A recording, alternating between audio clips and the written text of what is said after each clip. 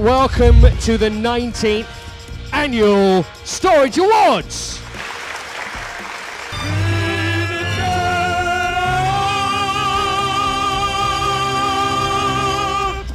Channel Excellence Award.